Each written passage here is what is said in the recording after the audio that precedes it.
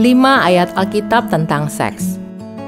Kejadian 2 ayat 24. Sebab itu seorang laki-laki akan meninggalkan ayahnya dan ibunya dan bersatu dengan istrinya, sehingga keduanya menjadi satu daging. Ibrani 13 ayat 4 Hendaklah kamu semua penuh hormat terhadap perkawinan, dan janganlah kamu mencemarkan tempat tidur, sebab orang-orang sundal dan pezina akan dihakimi Allah. Kolose 3 ayat 19 Hai suami-suami, kasihilah istrimu dan janganlah berlaku kasar terhadap dia.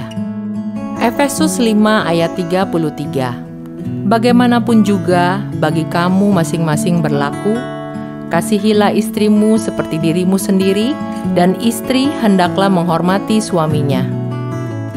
1 Tesalonika 4 ayat 3 sampai 5. Karena inilah kehendak Allah, pengudusanmu, yaitu supaya kamu menjauhi percabulan, supaya kamu masing-masing mengambil seorang perempuan menjadi istrimu sendiri dan hidup di dalam pengudusan dan penghormatan, bukan di dalam keinginan hawa nafsu seperti yang dibuat oleh orang-orang yang tidak mengenal Allah